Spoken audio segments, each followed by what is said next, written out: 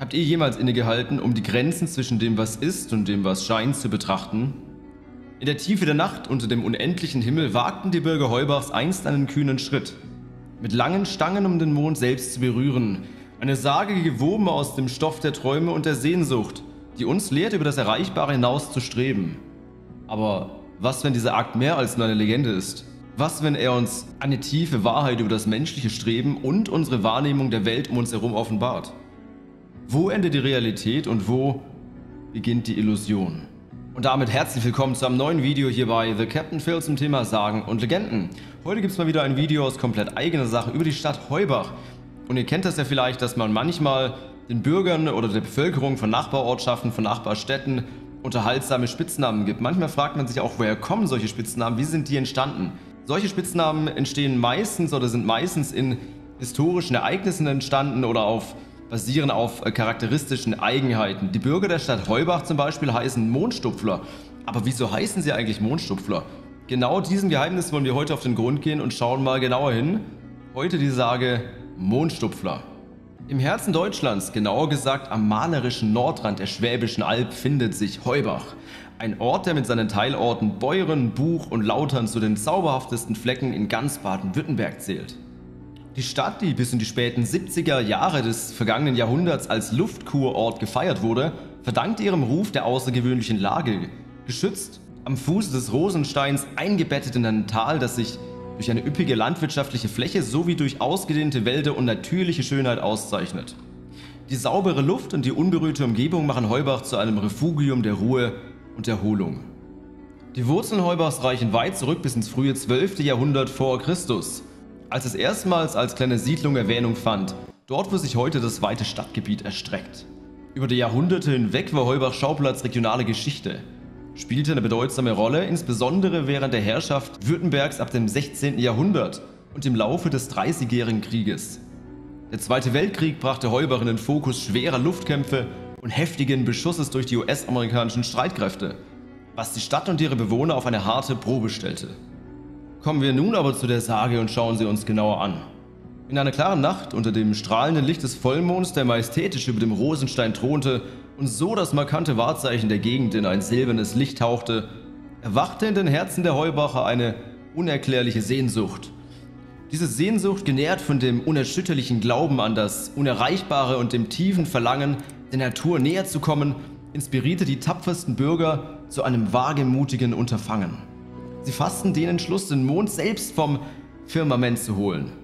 Ausgestattet mit langen Stangen und Spießen, die, die sie aus den umliegenden Wäldern zusammengetragen hatten, machten sie sich auf den Weg zum Rosenstein, ganz nach oben zur Burgruine, ihr Blick unverwandt auf den leuchtenden Nachtgestirn gerichtet.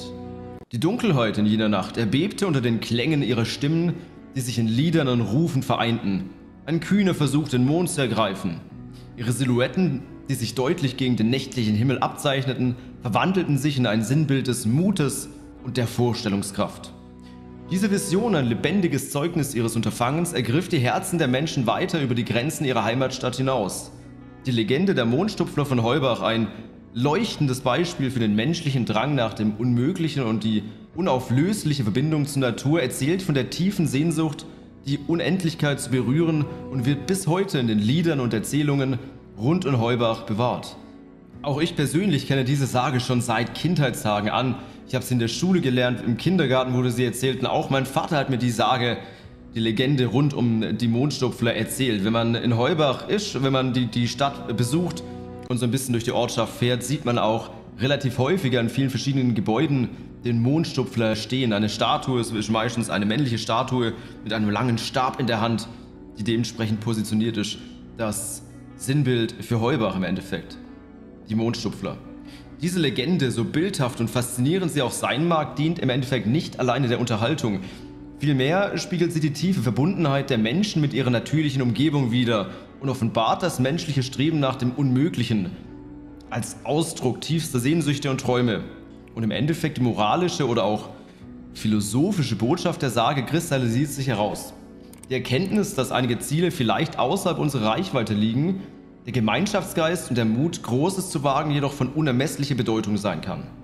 Ich finde auch, die Mondstupfler-Sage selber fördert darüber hinaus auch das Bewusstsein und die Wertschätzung für lokale Traditionen und im Endeffekt auch die Geschichte der Gemeinschaft und der Wurzeln um uns herum. Sie spiegelt universelle menschliche Erfahrung wider, wie Neugier, das Streben nach Erkenntnissen und das Überwinden von Grenzen. Diese tief verwurzelten Antriebe sind Teil der menschlichen Natur und finden sich in solchen Legenden und Sagen relativ häufig wieder. Durch das Weitergeben dieser Geschichte von Generation zu Generation bleibt das kulturelle Erbe unserer Tradition, unserer Geschichte lebendig und prägt die Identität der Stadt Heubach und ihrer Bewohner nachhaltig. Die Mondschnupflersage und ähnliche Geschichten spiegeln eine unverzichtbare Rolle in der kulturellen Tradition und Identität von Heubach vermitteln auch gleichzeitig ein Gefühl der Zugehörigkeit und fördern den Gemeinschaftssinn.